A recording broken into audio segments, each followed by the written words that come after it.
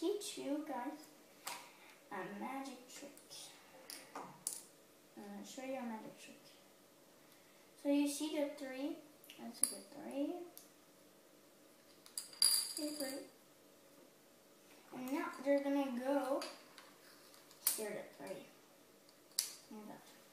So now I am gonna put the three cups on the table. And then I'm gonna put one on top of this one. Now I'm gonna put the two, hear this? just pass through. So now I'm gonna, do it back.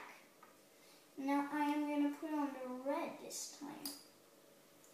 Now let's just do this. Now it's gonna be two under. So through.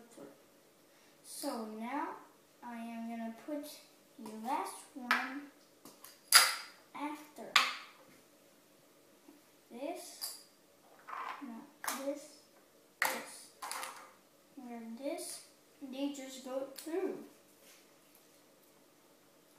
See? And it's still three. So it's magic cups.